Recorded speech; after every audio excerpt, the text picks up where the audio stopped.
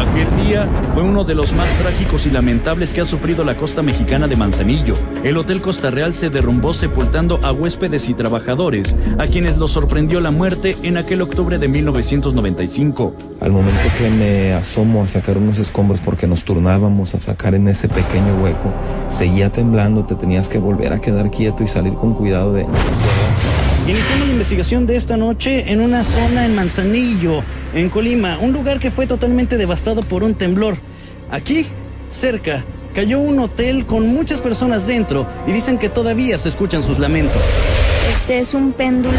Con la ayuda de él vamos a detectar los lugares donde hay más fuerte, ya sean presencias o energía atrapada. A punto de finalizar la investigación, ocurrió algo muy extraño, pues apareció una persona muy molesta y de manera agresiva pidió que nos marcháramos del lugar. Observe. ¿Tu camioneta? Sí. Retírate. Fuga, fuga, vete a la... Ya, no quieras. Retírate, dale tu camioneta. No quiero, mono. No quiero, mono.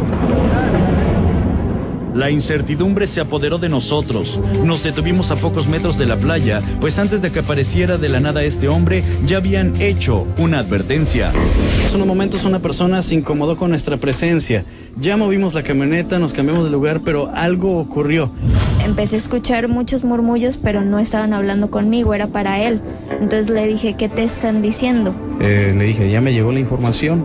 Entonces me comentaban que la, la mujer eh, traía algo que, que no, no les gustaba. La segunda información me dice, ¿tienes un hijo pequeño? Le digo, sí.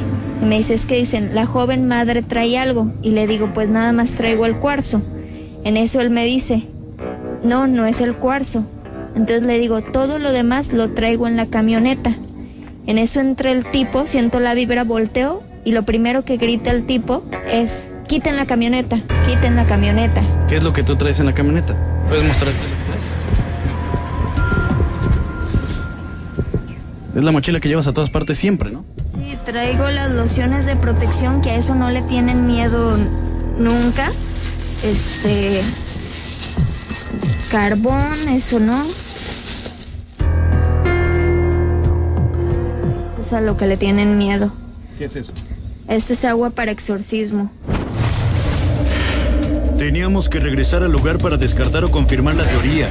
Ya no había nadie físicamente, solo la temperatura muy baja. Pero al analizar las fotografías tomadas esa noche, el extraño ser parece haber sido captado de nuevo. Quizá esta vez no nos agredió debido a que tras lo ocurrido, ahora sí llevábamos con nosotros el agua para exorcismo.